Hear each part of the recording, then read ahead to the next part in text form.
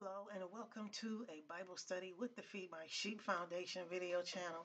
We're going to continue our Bible study today in the book of Isaiah and we are on the 25th chapter for this uh, particular video. And as we go forward reading in the book of uh, Isaiah in this chapter, we're going to see Isaiah is going forward praising God. Okay, he's just giving God a lot of praise and admonition and uh, worshiping Him for His His faithfulness, His truth, and His wonderfulness, and His protection, and all the good things that He does for us. And so Isaiah is praising God in reference to all that He is and the fact that He is God. Okay, so it begins with, O Lord, thou art my God. I will exalt thee. I will praise thy name, for thou hast done wonderful things. Thy counsels of old are faithfulness and truth. That's, you know, what we see when we look at God. You know, He's faithful. He's very faithful and He's truth. He's the truth.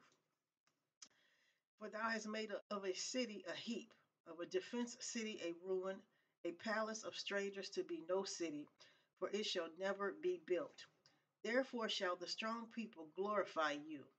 The city of the terrible nations shall fear you.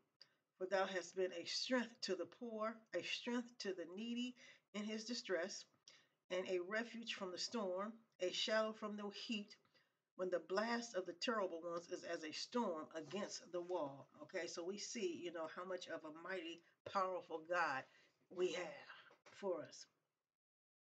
Thou shalt uh, bring down the noise of strangers as the heat in a dry place, for even the heat with the shadow of a cloud.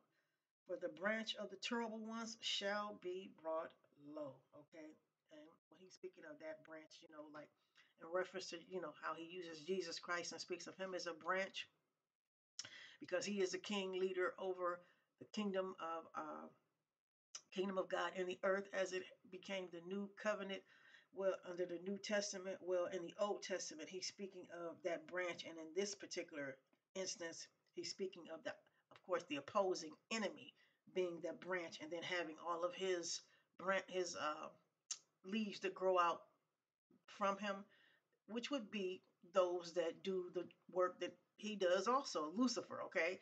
Because that's who he's speaking of in reference to when he uses that word branch in this particular verse, because we know again he uses it he uses it to describe uh, Jesus Christ in leadership position.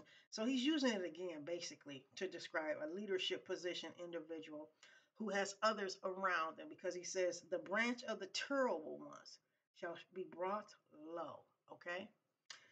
So then he says, uh, and in this mountain shall the Lord of hosts make unto all people a feast of fat things, a feast of wines on the lees, of fat things full of marrow, and of wines on the lees well refined. Okay. So uh, there will be in this mountain, he said, he says, a host, the Lord of hosts, he will make unto all people a feast. So there will be uh, feasting in the holy mountain of God, okay? Because that's what he's talking of in this reference. Going into uh, another verse and then also another statement, and we're going to see that as we read it. But before I go continue on to it, I want to stop here and take a look at Isaiah chapter 2. And I'm going to look at that in reference to um, what was just said about the feasting, you know, as he renews everything for the people. Chapter 2, and then chapter 2, and beginning with verse 2. It shall, okay, it actually, he begins, I'm going to start with verse 1. The word that Isaiah the son of Amos saw concerning Judah and Jerusalem. He says, And it shall come to pass in the last days that the mountain of the Lord's house shall be established in the top of the mountains and shall be exalted above the hills, and all nations shall flow to it. Now, of course, we know this is in reference to after Jerusalem, after God goes through with his judgment and his chastisement against the people in Jerusalem, all the other nations, and of course his nation. And then as he begins to come forward with salvation for, uh, you know, as we know of it today from the New Testament, okay, salvation with Jesus Christ.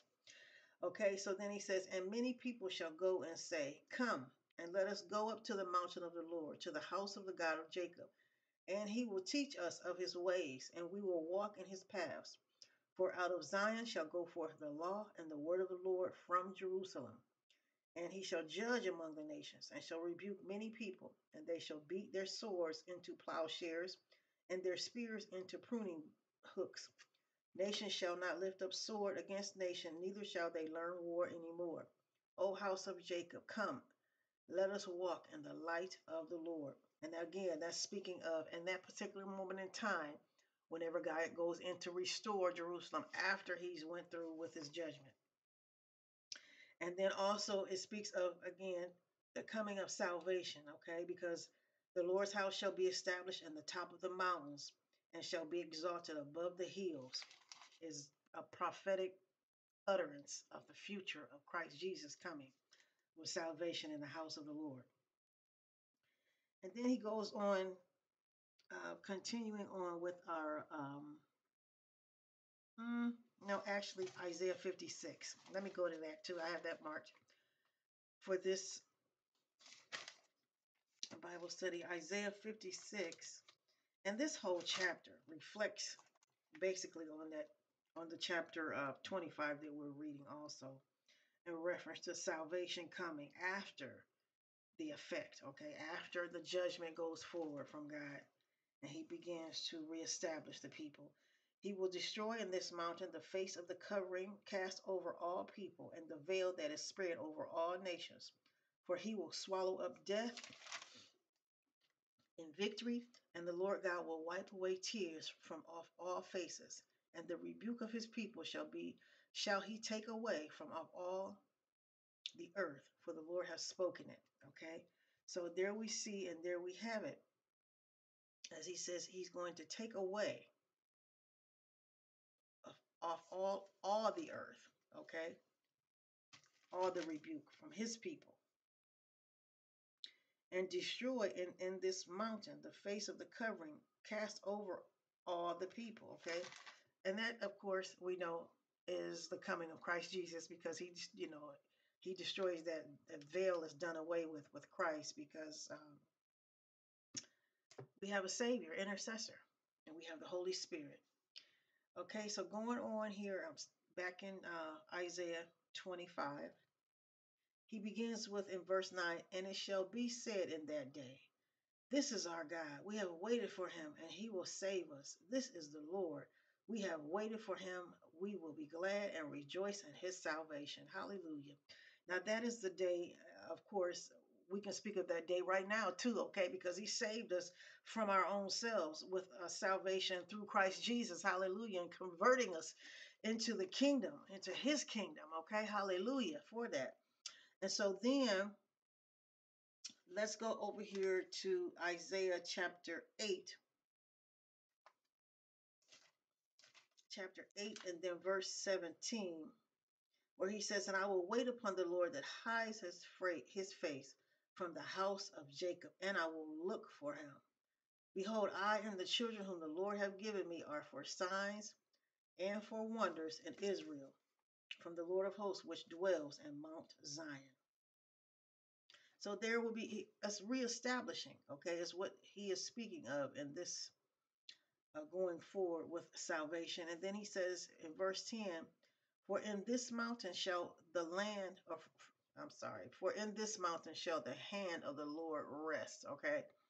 And Moab shall be trodden down under him, even as a straw is under and trodden down from a dunghill. Okay. And he shall spread forth his hands in the midst of them, as he that swims spreads forth his hands to swim.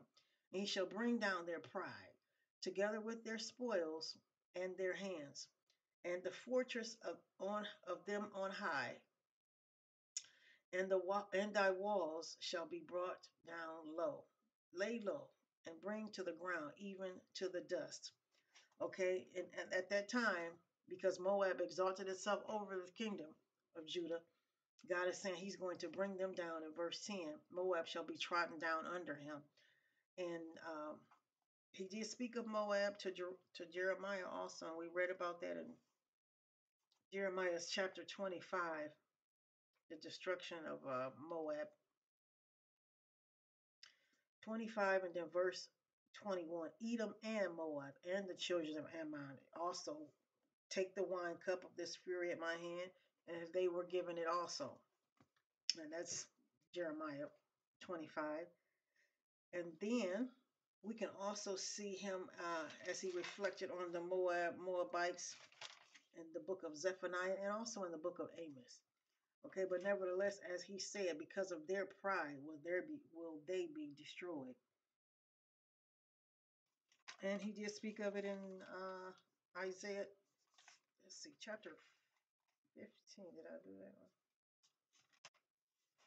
Chapter 15. And that whole particular chapter 15 this whole chapter went into the destruction of Moab. the burden of Moab, uh, because in the night they are laid waste and brought to silence because in the night Kir of Moab is laid waste and brought to silence. Again, so that just speaks of the destruction of Moab. And then uh, chapter 16, same book, Isaiah, verse 6. We have heard of the pride of Moab, for he's very proud even of his haughtiness and his pride and his wrath, but his lies shall not be so. Okay, because Moab was a liar, the Moabites were liars, and they continued to lie upon the children of Israel. And then God also uh, decreed and declared that their judgment would come forward toward them also. Other scriptures I have in reference to Moab and the Moabites would be uh, Jeremiah chapter 48. Jeremiah 48. He also had some words in this chapter in reference to Moab too. And actually, this whole book too, against Moab, thus says the Lord God of hosts of Israel Woe unto Nebo, for it is spoiled, and there shall be no more praise of Moab. Verse 2. Verse 4 Moab is destroyed. Her little ones have caused a cry to be heard. Okay, that's after the destruction. and